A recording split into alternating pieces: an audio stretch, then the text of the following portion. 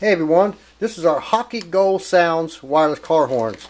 So it comes with one remote control. You can purchase additional remotes if you want, but it does come with one remote control. Now we've got this horn facing down, it's pretty loud and we don't want to hurt our ears here.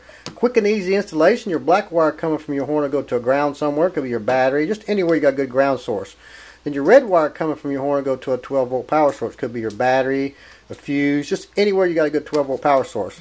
So this is our Hockey Goal Sounds wireless car horn.